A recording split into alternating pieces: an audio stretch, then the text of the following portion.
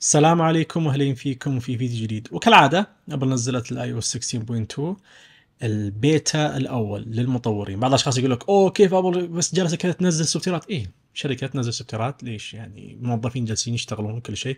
بس ما أدري ليش الأشخاص آه، منزعجين من ذا الشيء. شيء طبيعي. أي شركة في العالم ال software ات لازم موظفين يعني خلاص تنزلون الاي أو 16.1 يلا يقول حق الموظفين يلا عندكم إجازة روحوا بيوتكم. يشتغلون. تدري في موظفين برضو يشتغلون على الاي أو 17 الآن يعني بس ما يحتاج انه تنزل ابل بيتا حق ال iOS 17 عشان نعرف؟ فهذه بيتا أنت عرفت انها هي beta ال iOS 17 في موظفين يشتغلون عليه الآن لكن ما نعرف عن شيء. فال iOS 16.2 هذه بيتا آه، ما نزلت لك؟ ما يحتاج تقول ليش ابل تشتغل؟ ليش ابل تنزل؟ ما ما يصير. ما نزلت لك. أعتبرها كأنها الاي 70 ما نزلت مش موجودة في الوجود دي كلش. انتظر لين الشهر القادم وتنزل وشيء حلو في اي software في العالم من ينزل لك software ات ورا بعض تسد ثغرات علشان الآن الاي 16.1 موجود.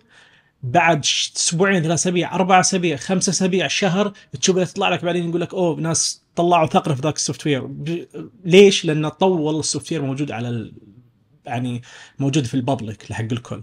فالحل الوحيد اللي الشركة تسوي كل شوي تنزل software أي شركة في العالم تنزل software كل مرة كذا كذا تقلل من ال ال الهاكرز تقلل من الأشخاص. مثلا الحين نزل اي 16.1 الأشخاص يفتحون الملفات يحتاج له وقت لين يشوف ثغرة فيه. على ما يشوف ثغرة الشركة نزلت software ثاني. سدت الثغرة وغيرت الأشياء. كذا يعني. كذا كيف نمشي ونعرف. المهم ال iOS 16.2 البيتا الأول الشيء اللي توقعته أنا إنه ما يكون فيه تحديثات كثيرة لأنه معروف أول بيتا تنزل مثل 16.2 البيتا الأول إذا كانت بيتا أول ما تكون في ميزات كثيرة. البيتا الثاني الثالث تبدأ أبل تحط ميزات لكن أبل في البيتا الأول هذا على طول نزلت ميزات. فلو بنشوف البداية شنو ال software هذا؟ إيش اللي نزل معاه؟ مثل ما نشوف البيتا الأول حق ال iOS 16.2 ال build number في النهاية مثل ما نشوف في النهاية e وال iPadOS 16.2 برضو ال build number في النهاية e وال macOS 13.1 بيتا برضو ال build number في النهاية e وبرضو ال watchOS مثل ما نشوف في النهاية e tvOS برضو في النهاية مثل ما نشوف f. build number حق tvOS صغير لكن نشوف المستقبل متى راح تنزل أبل. فهذه الأشياء كلها وهذه ال software أبل نزلتها اليوم في وقت عمل الفيديو. هذه الأشياء اللي نزلتها أبل. فلو بنشوف كبداية شو الميزات والأشياء اللي نزلتها أبل هنا. أول حاجة ال hello screen. تعرف إنك إذا حدثت تحديث جديد من جهازك يعني مثلا من الاي 15 ل 16 شفت اللي يجيك الجهاز اللي ما يحتاج يتكلم كثير؟ هذه في الإيباد مثل ما نشوف طلع عندي الآن. بعد ما حدثت الإيباد ما شغلته للحين فطلعت عندي هذه الحركة. كأنك توك شاري الإيباد كأنك كذا يعني تفتح الإيباد يقول لك حط الإعدادات حقتك كلها عشان يشتغل عندك الإيباد مثل ما نشوف. حدث حق ال software الجديد نضغط عليها. كنا من 15 ل 16 مثلا يعني مثل ما نشوف تحدر ونخلص نرجع حق الإيباد هذا بعد شوي. نجي للآيفون وميزات الآيفون. بعدين نرجع حق الايباد الشيء الثاني والبرنامج الثاني برنامج ينزل عندك في الاي 16.2 الآن اسمه Freeform هذا البرنامج الأشخاص اللي يبون حق كتابة مساحة حرة يعني. الأشخاص اللي يبون يكتبون لحق مدرسة لحق اجتماعات لحق كل شيء هذا البرنامج خلاص يكون هذا البرنامج اللي تقدر تحط فيه كل شيء. في برضو ال collaboration تسوي مع الفريق حقك أو ال group حقك في المدرسة ولا شيء تفتحون موضوع جديد أو تفتحون صفحة كبيرة. وتستخدمون نشوف كل الميزات. ما ودي أشرح كثير عنها في الآيفون لأن ما أتوقع أن أشخاص راح يستخدمونها كثير في الآيفون. تقدر تستخدمها ما أقول لك ما تقدر تستخدمها لكن أحس إن أصلها في الآيباد فراح نتكلم عنها كثير في الآيباد. هي نفس الميزات نفس كل شيء لكن في الآيباد قلم. يعني تاخذ الآيباد لحق دراسة لحق كل شيء خلاص. يكون هو برنامجك الرئيسي لحق الأشياء دي. Freeform تقدر تقول نفس ال OneNote الأشخاص اللي يحبون الدراسة ولا اللي يكتبون كثير OneNote معروف. وشركات قاموا يستخدمون نرجع له بعدين في نهاية الفيديو ونتكلم عن برنامج Freeform في الآيباد. وبرضه في تحديث جديد لحق ال Home app فبرنامج المنزل آه، في تحديث لحق ال categories هنا لحق ال... هنا نضغط على إعدادات المنزل مثلا وننزل تحت. راح نشوف خيار جديد هنا. لو نضغط على تحديثات البرامج راح نشوف الخيار الجديد هنا. آه إلى هيكل برمجي جديد. مثل ما تشوف الكلام تضغط عليه هنا. بعدين طبعا إلى الآن ما صار هذا الشيء. وثاني حاجة برضو لازم تحدث الأجهزة اللي عندك على الاي 16.2 علشان تشتغل. هذا لكن المهم إنه categories جديد أو برمجيات جديدة حطتها أبل تحسين أداء الأجهزة اللي شابكة في برنامج المنزل. هذا الميزة هذا وبرضه في خيار الحين جديد ما أقدر أستخدمه هنا خصوصا في أمريكا لو أضغط عليه ثلاث ضغطات الحين ويشتغل ما راح يوقف إلا الشرطة تجينا هنا. لو ضغطت ثلاث ضغطات يطلع لك ال SOS وتشغل ال SOS وتطفيه راح يجي لك إشعار هنا في محل إشعارات يقول لك ان طفيته هل في شيء ولا حاجة؟ يعني تحديث أو شيء في نفس ال... الإشعارات يجيك التنبيه هذا. فهذا الشيء الجديد في ال SOS أو مكالمات الطوارئ. لو نخش لكم حق الإعدادات ونروح حق ال TV. رجعت ابل لنا أخيرا خيار جديد حق ال TV أو التلفزيون اللي هو الخيارات الجديدة الأنشطة الحالية. مثل ما نشوف. هذه كانت موجودة من قبل في بداية البيتا وكنسلتها أبل اللي هي ال Live Activities الحين رجعت لنا أبل هنا. وبرضه لو نروح برنامج الدعم للاشخاص اللي يستخدمون برنامج الدعم آه، في تحديث جديد الآن أو الثيم تغير عندنا هنا مثل ما نشوف. إذا كنت مثلا عندك جهاز من الأجهزة بتودي صيانة ولا شيء في تغيير هنا على البرنامج هذا برنامج الدعم من أبل. أو في تحديثات جديدة برضو حق برامج ال iWork فاذا تستخدم برامج ال iWork برامج ال Office حقين أبل. نقدر نختصرها كذا. برامج ال Office حقين أبل كلهم نزل لهم تحديث مثل شو ال Numbers Pages وال Keynote كل البرامج زي صار لها دعم حق ال iPadOS 16 وال iOS 16 وميزات جديدة هنا. فحلو أبل جالسه تحدث برامجها حق ال software ات الجديدة. وبرضو هنا في تحديث جديد ما يعتبر تحديث لكن ما أدري ليش أبل إلى الآن جالسه تلعب هذا الشيء.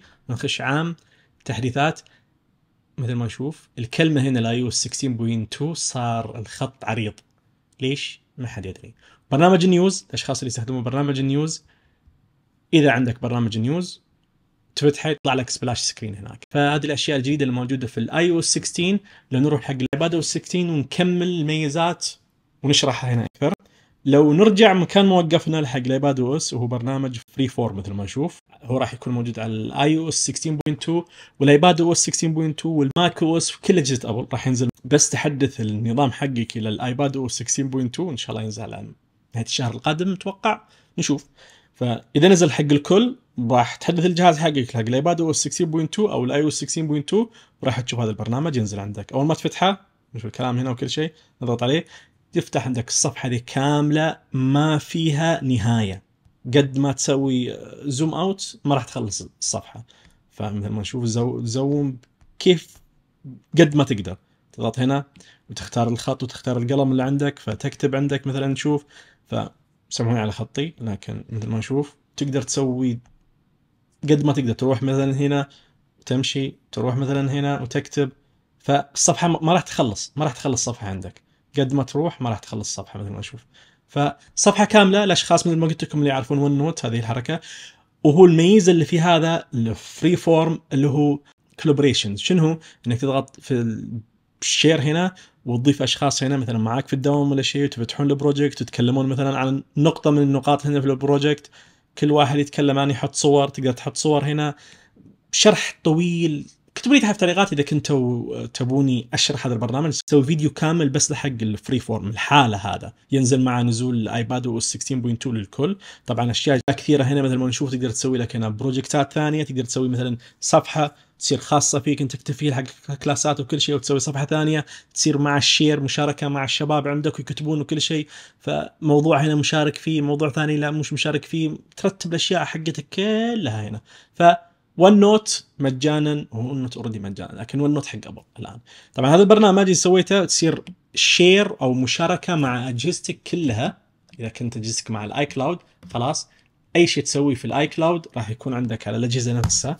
فاول حاجة أول ما تنزل البرنامج تأكد إنه تسوي share مع ال iCloud على تشوف عشان تشوف مواضيعك كلها فلو تخش الإعدادات في الجهازين يعني من ال iPadOS 16.2 نزل فيه والاي أو 16.2 نزل فيه. فلو نخش الاعدادات هنا ونروح حق ال iCloud نشوف البرامج عندنا هنا اظهار الكل. راح نشوف البرنامج عندنا مثل ما نشوف.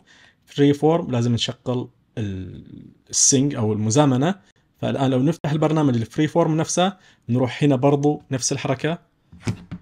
ونروح حق ال iCloud نروح حق الأول الكل نشغل البرنامج نفسه. فالآن أي شيء أسوي في الآيفون راح يجي في الآيباد. أي شيء أسوي في الآيباد راح يجي في الآيفون. المشاركة مع البرامج حقيني أو أجهزتي كلها. أسوي في الآيباد شيء أجي في الكمبيوتر مع التحديث الجديد اللي راح ينزل برضه في اللابتوبات أبل في ال macOS راح أشوف الموضوع اللي كتبته يروح هناك. أضيف شيء في اللابتوب راح ينضاف عندي هنا. كلها نفس الحركة. طبعا كبداية من بيتا فمتوقع انه يكون في مشاكل في ال share. لكن نشوف. هل راح تشتغل ولا لا؟ Okay. Still في مشاكل. أتوقع إنه لو أعطيه يوم يومين تشوف الأشياء وكل شيء. طبعا البرنامج هذا تقدر تحذفه تقدر تضغط عليه وتسوي له حذف إذا كنت ما تبي برنامج. وتقدر تحمله برضو بعدين من App Store فهذه حركة لكن ما تقدر تحمله الآن وما تقدر تشغل هذا البرنامج على اي 16.1 ولا 16 ولا غيره. لازم يكون عندك نظام 16.2 وأحدث على النظام هذا الجاي. وإلى الآن ما أنصحك تحمله لأن البرنامج فيه مشاكل كثيرة. هذا اللي خلاني قلت لكم ان أنزل لكم ال soft هذا. والبرنامج هذا مع نزول الاي أو 16.2 علشان أقدر أسوي لكم شرح حق البرنامج هذا بالكامل مع البيتات القادمة. بعد ما يضبط البرنامج كويس ويكون جاهز استخدامه أقدر أسوي لكم شرح كامل حق البرنامج. لو نرجع لكم برضو حق برنامج Apple TV هنا في الآيباد شكل جديد صارت يعني حركة جديدة إنك فتحت البرنامج راح يطلع عندك مثل ما نشوف ال account حقك تحت هنا. ما كان موجود تحت لكن الآن حطيت أبل تحت. وآخر خيار وآخر شيء وأفضل شيء سوته أبل في ال iPadOS 16.2 ألا وهي دعمت لنا الآن ال mirror حق ال display اللي هي ال Stage Manager أخيرا أبل دعمتها هنا فالآن إذا ركبت ال mirror حقك أو الشاشة حقتك مع ال M 2 أو ال M 3 M 3 شنو بعدين؟ ينزل. ال M 2 أو ال M 1 راح يدعم لك الشاشتين. فلو بنجرب معاكم نفصل الجهاز من الأجهزة اللي عندنا. فلو بنجرب معاكم الآن قبل ما نركب ال Thunder حق ال monitor راح نخش الاعدادات ونروح حق ال display هنا. تشوفها عادية هنا بس بس أحط ال monitor هنا وأحط الكيبل وتطلع في الشاشة راح يطلع لنا خيار جديد هنا. تضرب بس تشبك على الشاشة مثل ما أشوف طلعت لنا هذا الخيار. طلعت على طول على طول الشاشة اشتغلت عندي. Views screen الآن الشاشة طالع عندي في الشاشتين يعني. الآن صاير mirror بس. ما استغلت الشاشة الثانية صوله شاشتين لا إلى الآن شاشة واحدة مسوية mirror نفس السوفتيرات القديمة. مثل ما نشوف ما اشتغلت شاشة ثانية. هذه ال monitor عندي. الشاشة نفسها السواد هنا موجود. فما صار أي شيء كأنها أي software ثاني موجود عندنا. الشاشة نفسها هنا لو نضغط مثلا على ال arrangement هنا مثل ما نشوف الخيار هذا. نضغط عليه. نقدر نحط الشاشة هذه الإيباد حقي في الجنب يمين نقدر نحطها في أي مكان لكن لو بخليه كذا أضغط على الشاشة نفسها هذه اسم الشاشة LG اللي عندي.